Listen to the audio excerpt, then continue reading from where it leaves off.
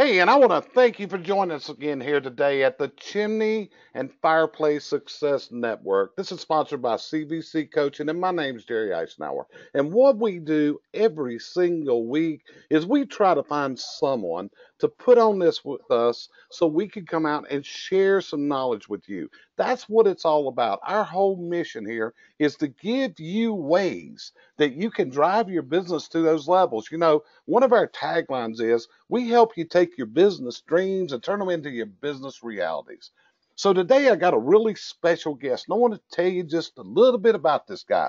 I only met him a few short months ago, and what it was, I went to a training and he was one of the people and one of the presenters there. It was him, Randy Pennington, and excuse me, Randy Pennington and Larry Winget. But what I heard was this voice come out, and it's like this guy was given a gift from God in his voice. But what I also heard, which was more important than that, was was the message that this guy delivered. Now his name is Scott McKain, and if you've been in the National Chimney Sweep Guild for a lot of years, in 1987 Scott McKain was a keynote speaker. We were in Louisville, Kentucky, and I remember going to that convention because we had traveled through the snow to get there. So that was in 1987. And then years later, I got to know this guy.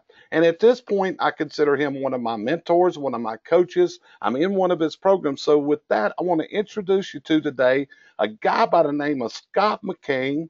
And his specialty is what we call distinction. So, Scott, are you out there with me today, brother? You bet, Jerry. Man, what an introduction. I, I, I, really appreciate that. It's great to be with you. Thank you so much. Well, I got to pump you up, Scott, because that way, since you're doing this for free, I got to get you pumped up, man. If I got you pumped up where you can give that value.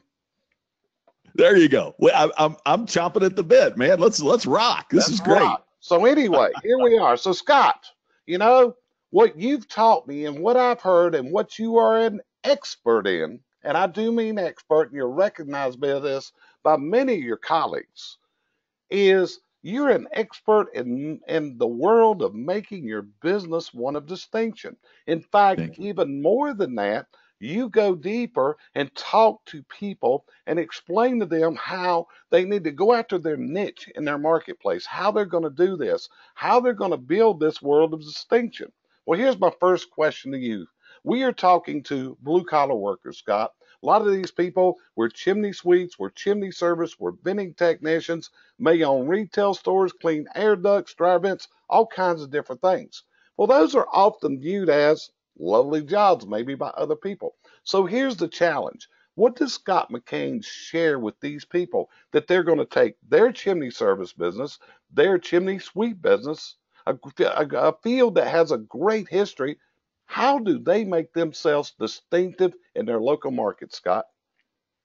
Well, Jerry, that, that that's a important question, and and let me tell you a little bit about where I come from on this. Uh, I grew up in a very small town, rural Indiana. My my mom and dad owned the one grocery store in Crothersville, Indiana, my hometown. Uh, very blue collar. I mean, the folks there either farmed or they worked uh, building Cummins engines up the road in Columbus, Indiana and I, I grew up stocking shelves and waiting on customers and cutting meat and and and doing the the work that you would imagine that somebody would do uh, when their family has a small business. And and and part of what I love about the audience that you talk to is that they're all in. I mean, all of our chips are on the table in that little store, and and just like the people that you deal with and that you talk to, man, the the, the chips are all on the table. They, they're all in with with their business, and so one of the challenges I think when you have a business like that is that you're attracted to the business because you know the work. Uh, my dad was a butcher and he had the chance to buy the store. Um, you know, he, he he knew about cutting meat. He didn't. He had to learn about how do you stand out and how do you take care of customers. Uh, a lot of times, I, I, I suggest in any blue collar business, we know the work, but this other customer stuff and this other standing out stuff, that's that's something we've got to learn and and so that's part of my mission is to help people learn that and try to teach that and help people grow with that. So at the end of the day what it's about is why would they choose you instead of another chimney sweep? Why would they choose you to service their fireplace as opposed to all the other competitors out there? And so what we have to do is to find something that makes us compelling a reason above and beyond just that we're the cheapest right? I mean if the customer sees no difference between you and the, and the other competitors then it makes sense for them to, to, to buy the cheapest, right? If there's no difference, why wouldn't I buy the cheapest? So what we have to do is to find ways to distinguish what we do and create distinction in what we do in something other than just being the low cost provider. Got you covered. You know, and that goes back, you know, when I first entered coaching, one of the first certifications I got was studying under Jeffrey Gitomer. And one of the yeah. things that Jeffrey shared with me during this term is selling is a three stage fold, three stage process. The first thing is always to sell yourself. The second is to sell the company. And the third is to sell the product. And the thinking there was, I can buy your product anywhere, but I can only buy you from you. So is that part of what you're saying by making it a distinctive business, Scott? It sure is, Jerry. And part of this too is, you know, in many cases, I know, I know there are business um, uh, customers as well, corporate customers, business customers of, of your audience, but a lot of times it's it's coming in their homes.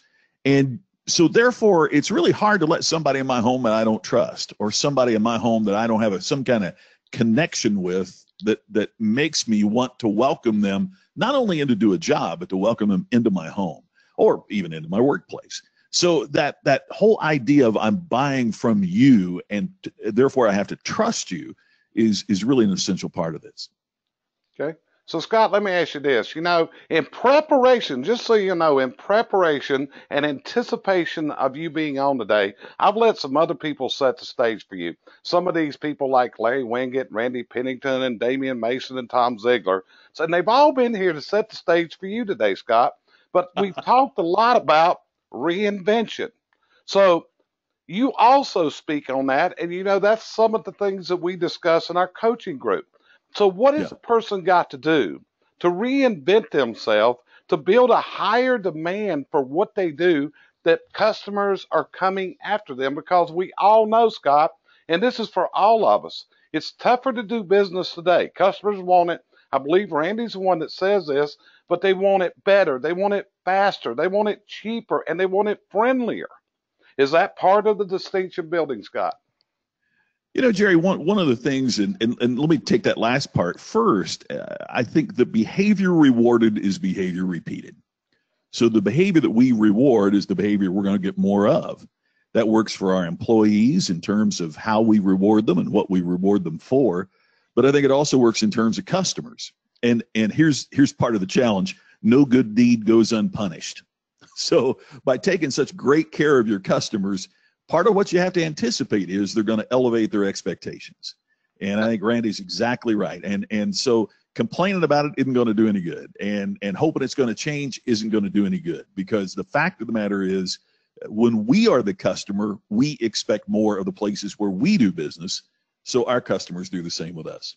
For me, in the reinvention aspect, uh, what I found is that most of us reinvent when we have to and it would sure be great if we would do it before that becomes the case. Uh, for me in my business, I, unfortunately, I lost my first wife to cancer, and it took me out of the marketplace for a while. And when I was coming back in the marketplace uh, of, of, of, my particular world, it was really hard to get back in. And I, I started trying to, to research and to study how I could make my little business stand out so I could make a living again. And had it not been for that tragic event in my life, I would never have begun the study of what it takes to create distinction. Uh, call it the blinding flash, the obvious, but somewhere along the way, after I realized that it was important to my small business, I realized there might be other businesses that would like to learn this too. So I, I researched for a number of years and wrote about it, and and and that's the basis of the books, my speeches, and everything else as a result of that research. I, I know that we in our little grocery store in Crothersville, we had we had a lot of success, but things really kicked into gear when a supermarket moved down the street so my hope for the folks listening here is that you choose to create distinction and reinvent yourself, not because you're faced with a challenging situation in your life or a challenging situation in your business, but because you realize it's just the smart thing to do. So the first step to creating distinction, I, I call them the four cornerstones. The first of the four cornerstones is clarity. In other words, most small businesses try to be all things to all people. And, and in doing that, we create our own set of challenges. And that is, you know, it's the old cliche about being a jack of all trades and the master of none. Well, it, it works not only with a trade, it works with how you run your business. If you try to be all things to all people, then it's hard to be number one with anybody. And so part of what I encourage smaller businesses to do is to really get focused on what you do, how you do it, what could you do that's unique and distinctive. Uh, was talking to a friend the other day was telling me about an uh, uh, uh, orthodontist that he works with and the orthodontist limited his practice to just four procedures of all of the hundred procedures that an orthodontist could do this guy decided to just do four turned out he received an award for being one of the most profitable orthodontists in america because he became the go-to provider for those four treatments. And and I, I think we can learn from that. It's hard in small business to say no to any customer. It's hard for us to ever turn down business. I get that. It's hard for me to this day to say no to anybody, but yet it's part of what we have to do. If we're not clear about what we're not, then we aren't really clear about what we are. You know, Scott, you touched on something a while ago, and one of the factors in my life, and it and it's in your life too, is often it takes chaos because what you went through with your first wife, that was personal chaos. I went through my personal chaos in 2010. And we go through this, and the hard thing in life is the chaos forces us to do these things. I'm sure that after you went through your personal chaos, the chaos forced you, and you talked about your business. The same thing, it totally changed everything I did in my life. Okay. Yeah. So at this point, I consider the people that have the foresight to be able to see what's coming down the road and can make the changes they need to without facing the chaos. Those are the people that are going to move ahead. But that takes being able to look into that crystal ball. Would you expand on that? I mean, are you in agreement with what I said? Oh, totally, Jerry. And and you know this works in big business too. I mean, isn't it interesting that what disrupted the cell phone business didn't come from Nokia or Motorola or Sony Ericsson, the people that were in cell phones 24/7, Apple's who disrupted it and they weren't even in the business to begin with. Folgers and Chase and Sanborn were making coffee 24/7 for decades and Starbucks comes along and makes a difference. And and it, I think we have to understand in small business, it, it's not our, you know, not maybe our fault if something like that happens, but it can put us out of business just as surely as the iPhone put Nokia out of business. So we, we have to be willing to look at that. We have to be willing to accept it. Uh, Dr. Clayton Christensen of Harvard talks about the innovator's dilemma. And it's that in many, many cases, we're so invested in what we're already doing, even if we see these trends coming, we don't want to pull the trigger and and and do the disruptive thing that it takes to really take our business to the next level. So that's that's why I'm suggesting that the first cornerstone of distinction is clarity. It is it is looking at what we're doing, refining what we're doing, being precise about what we're doing. You know, Jerry, you can't differentiate a generic. And if you're exactly like every other chimney sweep, if you're like every other repair place, if you're like every other service place in your community, why would a customer pick you? You cannot differentiate a generic. But here's the other thing you can't differentiate what you can't define. If you can't tell me what makes you better, what makes you superior, if you can't give me a reason to choose you, then why would I pick you? And you know, Scott, that's dead on because y'all did it. You and Randy and Larry did this morning an idea shots, and it was about value and value statements. And it's those type things that just looking because that inspired thought processes in me of how do you get this value out and how do you make sure that you're living the value that you're preaching and those kind of things. But you know, it was real interesting when you said about narrowing down to the four things. You know, that was the basis of the McDonald brothers before Ray Kroc came along. They narrowed down that they did four things well. They did four things. They did hamburgers, french fries, soft drinks, and milkshakes. And by God, Ray Kroc got rich because they ordered some milkshake mixers from him and he saw something there and was able to take it to something that feeds a large percentage of the world's population every single day today. It's unreal when you look at this. But here's my question to you also. We're dealing with the world of chimney sweeping. It is a world that is not recognized by enough consumers. It is a world that can lower the emissions into our environment. It's a way we're going to lower, the consumer can lower the heating cost of their home. It's a way they're going to improve their air quality. So, what does a chimney sweep service the chimney mafia, as you guys like to call us, what does the chimney sweep industry in America do to make American consumers aware of the value they provide and to do it in a distinctive way, Scott? Uh, Jerry, that is a fabulous question, and and it's it's one that I think there are a number of really great answers for. If someone said to me, as you did, you know, what would you do? I, I would really start marketing. How would you like to help the environment and save a lot of money at the same time? Uh, how how would you like? Uh, let me rephrase that even. How how would you like to, with low cost and no effort, save money and help the environment? because when you think about when when the environmentalists want us to reduce emissions and to you know be cleaner usually there's an expense involved in that. The price of cars go up or we have to you know recycle and, and put things in a different bag. You folks have a way of making that happen by just showing up. And you have a way of of i, think most people I, I i don't know. I mean this is just my impression as a customer as a client. I think most of us until what you just said is explained to us, I think most customers look at it as a function of safety. I don't want my house to catch on fire. Now, don't get me wrong. That's that's a heck of a thing. That's that's super important. But those other advantages that you just told me, I don't know how many customers really know that. See, part of what happens is we get so busy talking to ourselves, we assume the customer gets what's important to us by osmosis. You know, they're just going to absorb it. Surely they know that. I, I don't think customers know that. You know, when, people worry, you, you heard the old saying, you know, I, I used to worry what people thought about me. Now I realize they don't think about me. I think that's part of what happens is we don't realize that customers aren't thinking about us enough. And because of that, they don't realize all the benefits that we assume and presume that they're that they're understanding. And you know, you have to tell people more than once. This yes. is often what I tell people. One of the things I learn in coaching when I go through my coaching training, I got to say it more than one time. And I got to say it in a different way. It may just take a little change of the wording, but we got to keep that message out there and going. Okay. So, Scott, let me ask you this. What I'd like to know is tell me a book you would recommend that people would read because it's my belief that in order to be successful in business and in life, it requires three main functions.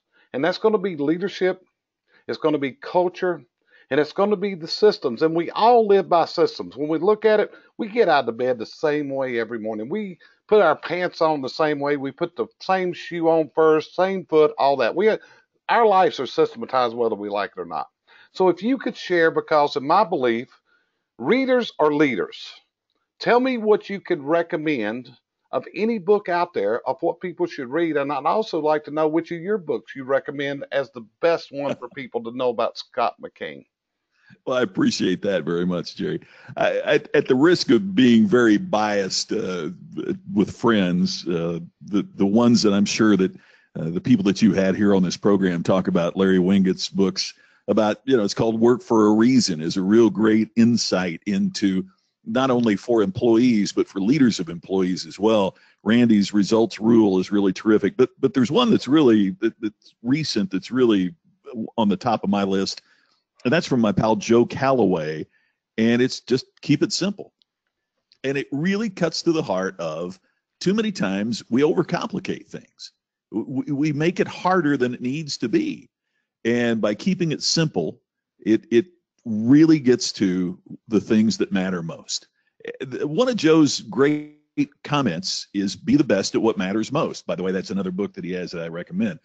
Be the best at what matters most. And so when we look at what really matters most to our customers, if we can be the best at doing that, we really have a leg up. So I'd recommend Calloway's Keep It Simple as, as one of the top ones. It's a quick read, and it's also something you might want to give to, to other people in your business as well, because it's one of those gift type books that that they can read in in in, in just a short period of time. You ask about mine, and uh, I've, I've got a couple that I'd recommend. One is uh, Create Distinction, which is really the the founding book of of everything I talk about. It's it's what to do when great isn't good enough to grow your business. Uh, the the conductor of the Los Angeles Philharmonic said a few months ago, virtuosos are a dime a dozen. When they asked him were there problems hiring virtuosos to play in his orchestra, he said virtuosos are a dime a dozen. There's so many talented organizations out there, so many talented people that doing things right is not good enough. You have to be the best. And that comes in being the best not only in, in the technical aspect of, of what you do as a chimney sweep, but also in terms of how you take care of your customers. And so what Create Distinction does is really it's a it's a it's a workbook in a sense about what you need to do to walk through the process and and and really stand out from your competition. The other book I I, I did that I think would have some value is called What Customers Really Want. We surveyed over a thousand customers. We asked them two basic questions, Jerry. We said, what do you want from the places where you're doing business? And what are you getting in the places where you're doing business? And what we found is there were the, the six basic disconnections between small businesses and the customers that they're serving. And so what this book does is talk about how do you bridge those gaps between what your customer really wants and what you're typically offering to them. Man, that's great stuff, Scott. It really, really is. And I got a deep probing question for you, okay? And All right. okay, you know, hey, that's what you know. Hey, Scott, I ask a lot of questions and I make you think, right? I love it. Okay, so I want you to reach deep in the Scott McKain mind. I want you to go deep down in your heart with this, Scott. And I want you to give me what your voice of encouragement, your word of inspiration would be to people. Because often we got chaos nipping in our doors. You and I both spoke in this podcast about chaos that hit us in our personal lives and how we had to change.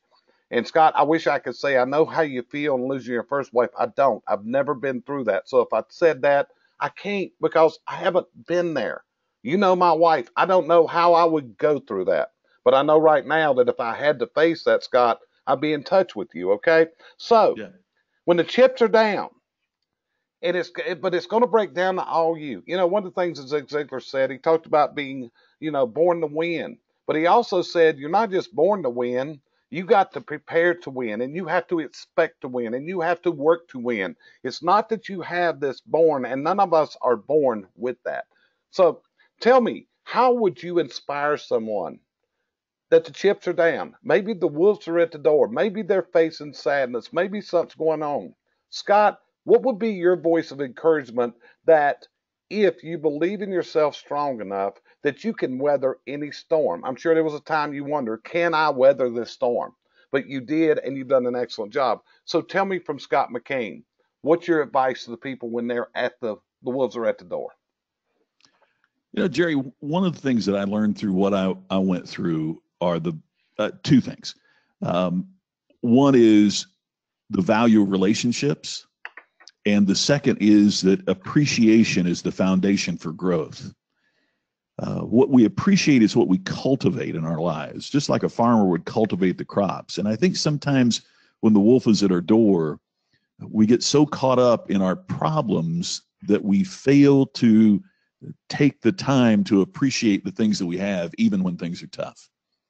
Um, just, just a couple quick stories. Um, the value relationships. When, when I was first starting out in the business, I, I was speaking at a youth convention, and um, get, my wife went with me to Kansas City for the program, and we check in the hotel. And I, I was so excited to be there because the speaker, the, the at another session, not on the session I was on, but another session was Zig Ziglar. And, you know, I'd, I had all these books and listened to all of his audios and watched the videos, but I'd, I'd never seen him in person. And I was so excited about this. And we get to the hotel check in, and there's a note at the front desk, and it said, uh, please call Mr. Ziglar's room. And it had the number. So I call the room, and Zig answers the phone, and he wanted to know if Sherry and I would like to go to dinner with him that night. Well, I felt like a little league shortstop, and Derek Jeter has just said, "You want to, you know, get a coke." So we went to dinner that night with Zig and had a great conversation. What a, what an uh, extraordinary person that, that Zig was. And years later, after Sherry passed away, um, about a month after, I go to the mailbox and there's a box there from Ziglar Corporation. And Jerry, honest to goodness, I thought somebody had sent me a nice book or sent me a gift, you know, in sympathy, that kind of thing. And I opened the box and there was a handwritten letter, eight pages, you know, four front and back, from Zig. And I didn't realize that he and his wife, the redhead, had lost one of their children um, tragically. And he wrote this letter about, you know, how he remembered that dinner and it was just of encouragement and it was just of, you know, when you're, you know, when you're in times of trouble, you know, read and focus and and connect with your friends. And, and it was just the best advice that could have could have possibly gotten. Now look, part of the reason I, I mention that is because I was not close with Zig Ziglar. I, I was not on his speed dial. Uh, we we were not close friends. He was an acquaintance. We were not. I'm not trying to name drop because we were not close friends. But the reason I bring that up is this. Good grief. We all talk about how busy we are. I can't imagine anybody who's busier than Zig Ziglar. But he still found time. He made time. And, and when I started telling that story, and I shared it with Tom Ziglar, uh, when I started telling that story, I found so many other people that had the same story that he had made time to build relationships. And so the, the strength of your business is going to be judged in part by the depth of your relationships. The, the relationships you have with your customers, the relationships you have with friends, the relationships you have with other small business people in the community. And that leads into the second point about appreciation is the foundation of growth. When when my wife died, I realized I could do one of two things. I could either be devastated constantly because of how unfair it was that she was taken. Or I could celebrate that at least we had the years together we had. And that was one of the biggest decisions of my life. And I decided, uh, through her encouragement, by the way, before before she uh, departed, uh, I, I, decided I'm going to focus on the appreciation of what we had, and and and not focus on what I lost. And that made me a healthier person and a better person to enter another relationship with later on and to rebuild my business. So if if the wolves are at your door right now i want to encourage you to do two things that seem a little bit strange usually when the wolf's at the door we want to pull the covers over our head and we want to ignore it and we don't want to talk to anybody or tell anybody i want to encourage you to do the opposite i want to encourage you to to get coaching to get advice to, to, to read the best books and connect, to, to invest in yourself and invest in your education. Benjamin Franklin said, the investment that always pays the highest dividend is knowledge. So when you invest in knowledge, it always pays the highest dividend. So invest in coaching, invest in yourself, invest in growing, invest in ways, even when the wolf's at the door, that's when you need it the most to, to expand your business. But the second is, even when times are tough, man, that's that's especially the time that that you know we we we sang it in our little Methodist church in Crothersville, Indiana. Count your blessings, name them one by one. And one of the things I did is literally make out a list every day of what I was appreciative of. In the worst days of my life, I would sit down and I would write, I'm appreciative of this, I'm appreciative of that. Because I, I, I don't know why it works, but Jerry, I know that it does work when we focus on that, we can find better things starting to happen. You know, Scott, you brought up Tom Ziglar and Zig, and I hope you got the chance because last week on the podcast, when I had Tom on it, we went through because a lot of people don't know this, but Zig had developed Alzheimer's. Yeah. And Tom shared some thoughts about what it's like because that's where Cheryl works. She works with caring for elderly parents. And it's a challenge, and you know what the challenges are, and those kind of things. And you know, it's a great admiration. But on the other side, Scott, you know, it's like you know, after I was at your conference out in Las Vegas, you know, and I remember this this day. We were sitting in the same restaurant. You got up and came over and just thanked me and Cheryl for helping you guys put that con, you know, getting people to come to your conference. Yeah. And it's the little things like that.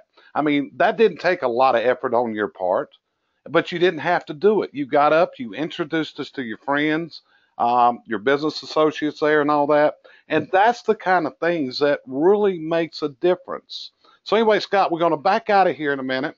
But before we go, I'd like to ask: Is there anything? I've asked you a lot of questions, so I'd like just turn it, you know, just let you have it for a minute. You know this customer or the people that listen to this podcast I've shared with you some thoughts that I hope have helped you. So tell me what Scott McKain's parting words are to this group of people, please. You know, Jerry, I, I, I truly do try to walk the talk, and I truly do try to, to you know, uh, I, I, I believe this because it, it, it saved my business. So I, I would just encourage everybody that's listening to to make some of the hard choices and do some of the hard work. You know, the, the, a lot of speakers talk about there's there's two types of pains. There's either going to be the pain of discipline or the pain of regret. And Jerry, I, I know you've experienced both, and I certainly have too, right? And and I, I, I've decided to pick the pain of discipline because uh, it, while it, it's front loading the pain, it's that pain of regret that can can last a long time. So the problem I, I see in small business, the problem I see with blue collar is that because the world is changing, we want to keep doing it the way that we've always done it. And it's hard for me in my business. We're changing a lot of things in my business right now because if if I don't change them, they will change for me, not in the way I want. And and and I think that's what we all have to to to do is that we need to educate ourselves. We need to take the steps we we need here's the other aspect too jerry just one more quick thing and that is because we're so good at what we do technically you know they're great at being a chimney sweep we tend to overlook the importance of the customer experience right uh, uh, toni morrison the writer once wrote that people will forget you know they'll, they'll forget how you did what you did but they'll always remember how you made them feel and so thinking about the experience that the customer receives how, how do you sound when you're on the phone? How, how, do you, how do you make that impression? Do you do the right things when you get to their home to make certain that everything is clean and perfect? What is the experience about? Because the experience that the customer receives is the basis of whether or not they're going to refer you to their friends and neighbors.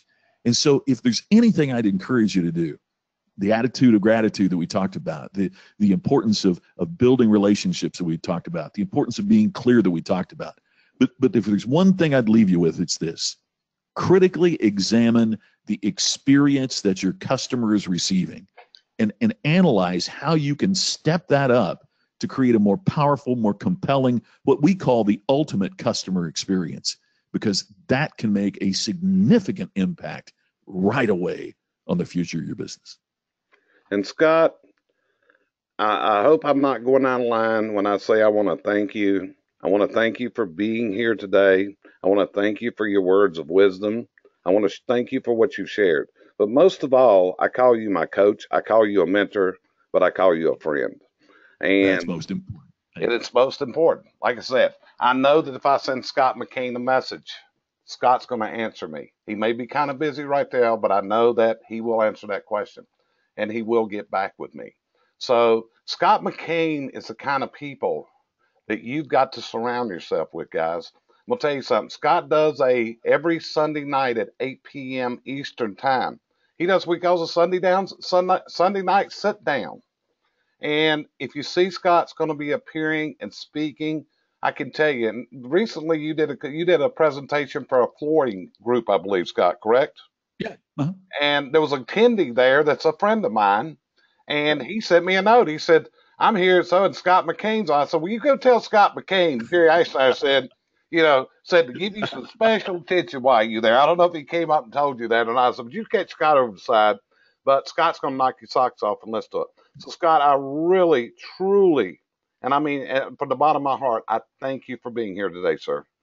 Jerry, I appreciate you so much. And I appreciate not only our friendship, but I, I appreciate the total commitment that you bring you know there's a lot of folks that participate but there's few that are committed and I, I, appreciate so much the total commitment that you bring to help your followers your friends your your your colleagues uh, reach the pinnacle of success in their respective businesses you you're moving the needle you're making a difference and and I, I appreciate that about you my friend Thank you, sir. Now, people call me committed. Sometimes they're talking about other things too. So we, but anyway, I want to thank Scott McKain for being here today. Like I said, follow Scott. You can follow him on the internet, get his books, gets and he and Larry Winget, Randy Pennington, they have a group that is called the. Uh, tell them about your group, the UBS group. They can participate in on fire on uh, Facebook, Scott.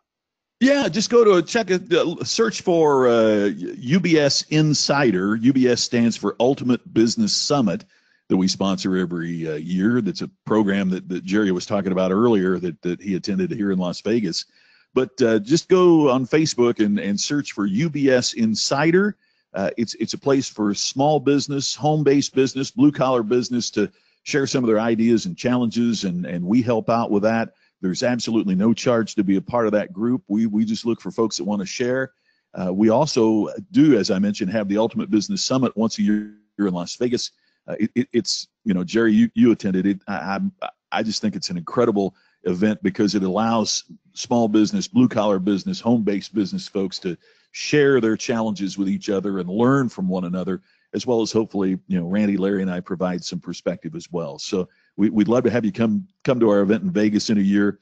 Uh, but but join our Facebook group because uh, that's that's the beginning. That's where you can share some ideas and and and learn some things. And there's absolutely no charge for that. It's UBS Insider uh, on on Facebook. And if you decide to join, just tell them you're a member of the Chimney Mafia. Chimney Mafia. There you go. Right, Scott? we welcome you with open arms. Well, That that's the secret password right there, man. That's, that's the secret password. You know, when they, they they looked around, the Chimney Mafia was all over the place, and by last time, oh man so anyway, this is Jerry Eisenhower, and this is the Chimney and Fireplace Success Network. We present this every single week. We tr- we roll out midweek every week, and what we're trying to do is bring you people that can give you words of encouragement, words of advice, business advice, personal advice. But the whole idea is so you can move your needle to a whole new level. It's sponsored by CVC Coaching. And so you know what is our what do we do? What is our value? This is our mission.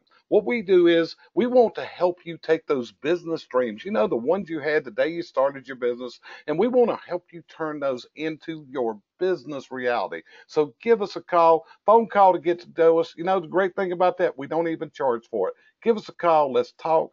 I'm waiting to hear from you. Let's set up a conversation. And with that, myself and Scott, we're out of here. And I look forward to seeing you next week here on the Chimney and Fireplace Success Network. And lastly, always know it is an honor and it's a privilege to be able to share our thoughts with you. Have a good week.